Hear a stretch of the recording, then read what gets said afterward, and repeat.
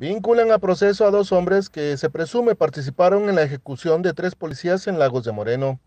Se trata de Iván H. y un menor de edad de 17 años, quienes fueron detenidos en la colonia El Calvario, en Lagos de Moreno, en posesión de un arma de fuego larga y una pistola calibre 9 milímetros con 12 cartuchos útiles, además de una credencial de la Comisaría de Seguridad Pública de Lagos de Moreno, que estaba al resguardo de uno de los tres gendarmes abatidos en una emboscada los primeros días de agosto. Iván H.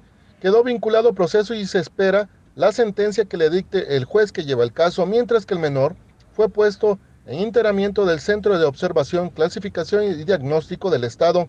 Ambos sujetos son señalados de ser probables responsables del delito de violación a la Ley Federal de Armas de Fuego y Explosivos, además de la probable participación en el triple homicidio de los policías del Lago de Moreno.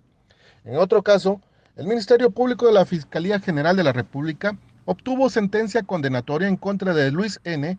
y Alder M., quienes fueron detenidos tras un enfrentamiento con elementos del ejército mexicano en las inmediaciones de la colonia La Manga, perteneciente al municipio de San Julián, Jalisco. A los dos señalados les aseguraron una pistola, además de 20 cargadores y 355 cartuchos útiles.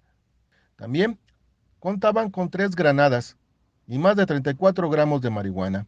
En el sitio los elementos de la Sedena también aseguraron 24 armas cortas, 45 largas, además de 64 mil cartuchos útiles y 23 granadas calibre 40. También fueron asegurados 4 lanzagranadas, 2 ametralladoras y un lanzacohetes y 15 vehículos. Los sentenciados se encuentran en complejo penitenciario de Puente Grande donde cumplen ya su condena. Señal informativa, Henry Saldaña.